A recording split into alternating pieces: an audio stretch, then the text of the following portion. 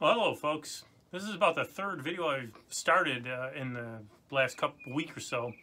Uh, I don't know what I'm gonna. I went in, I don't even know if you're gonna see this one or not. Uh, but anyways, I'm trying something tonight. I'm gonna have uh, two rigs going, or I'm gonna practice with my rig here. I might practice with some new software to use, and I'm going to show you my other rig in a second. What I've got going on here. The reason I'm not I'm all haphazard is the weather. The weather is we find the weather's been horrible. We finally got a nice.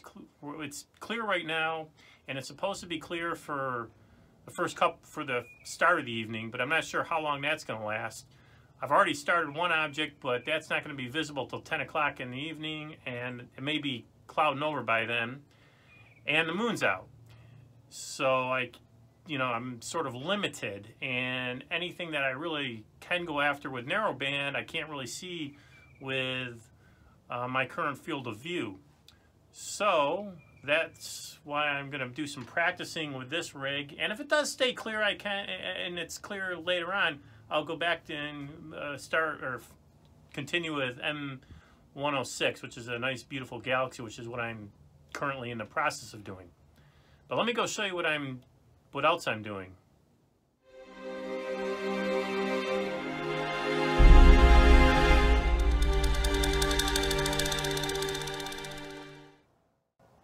Well, folks, this is my second rig that I'm running tonight.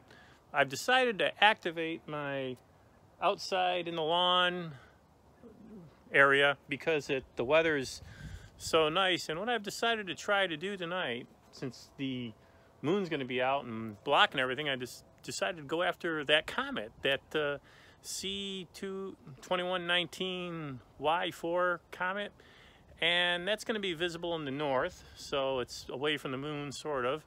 And it's I don't think it's going to be affected too much by the moonlight.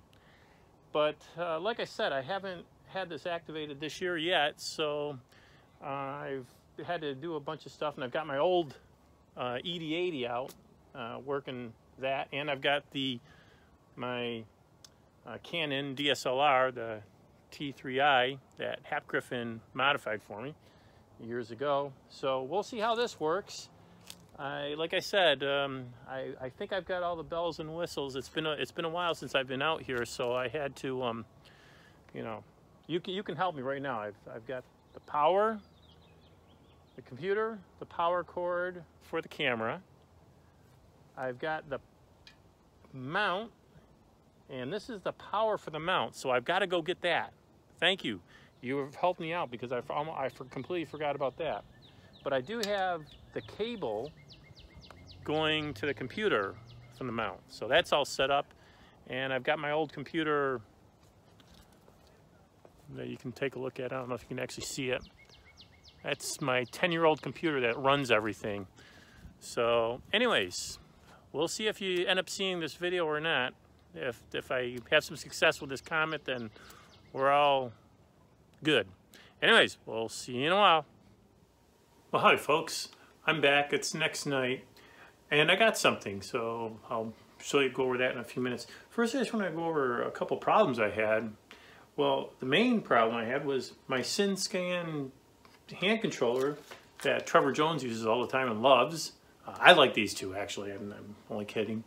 But um, last year I had I was working fine with this thing where I had this wire and it connected up to the computer and when I went to use it this time around, for some reason, it wouldn't connect up to the computer. Now, in the wintertime, I added EQ mod to my system, and so maybe that had some effect on it, so it would no longer use this, this hand controller, but I was really bummed about it.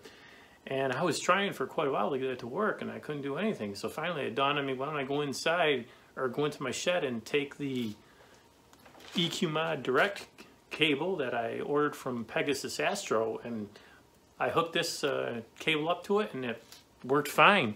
So I, I didn't use my sin SynScanner. I can't use it for, for whatever reason. Anyways, so I went and purchased a, ordered another uh, SynScan, um, another EQMod direct cable so I can use uh, that mount for outside when I go outside now anyways, as I said, this was a test run, and I'm really glad I did this test run, even though my Uh, Comet image didn't come out super great, but it was, like I said, I, I was very happy with uh, setting this up. Well, howdy folks, I'm back and I got something. It's the next night, so uh, you know I'll show you my image that I wound up with.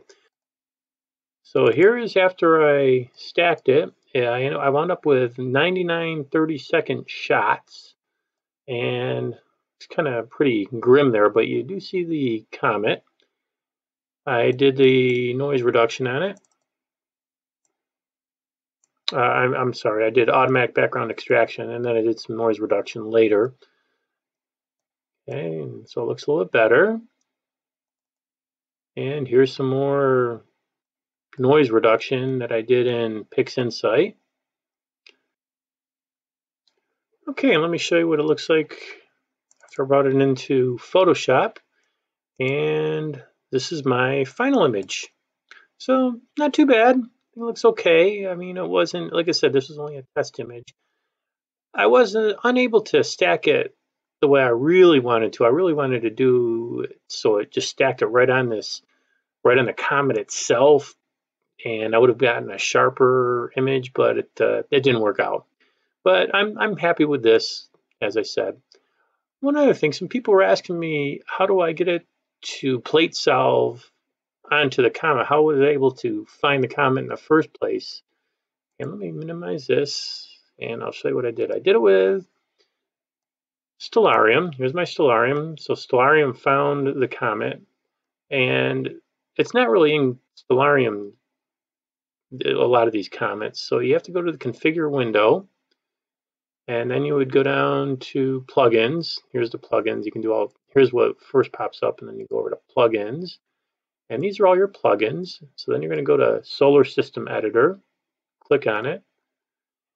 And this has a bunch of objects in here already, these minor solar system objects. And if your object isn't here like a comet, you'd have to add it. So you come over here to where it says Import Orbital Elements in MP format, click on it.